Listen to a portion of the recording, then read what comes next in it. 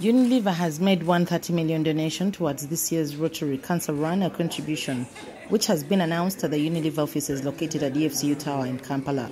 The head of marketing Unilever Uganda, Gichi Wangechi, handed over a check of Michael Netejeke, one of the organizers of the run.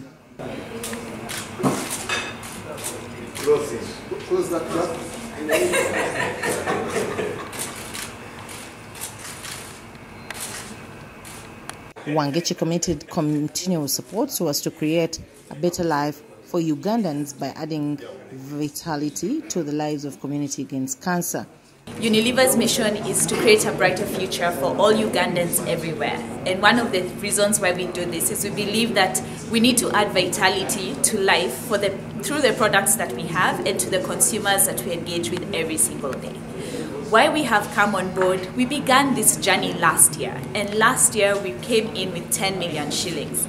However, through the year, we have worked with Rotary to just understand how big is the need. And this year, we've come in bigger and stronger at 130 million. And the ambition is to support Rotary to be able to unlock this bunker for all Ugandans everywhere to get the needed care and support in managing cancer in the country. The Rotary Run Cancer Run Vice Chairman Michael Netejeke applauded Unilever for the support. So Unilever coming on board is what I would say very many pair of hands if I was look at it from a monetary value. Because if the kit is 30,000, divide that by the value that has been given to us and you will see how many pair of hands that have come on board to support this cause. And so we are excited because Unilever is a household name and joining us to fight and be part of this cause of ensuring that we as a community, as a country, are proactive and deal with cancer decisively is a welcome gesture and we believe we will definitely do greater stuff together with Unilever.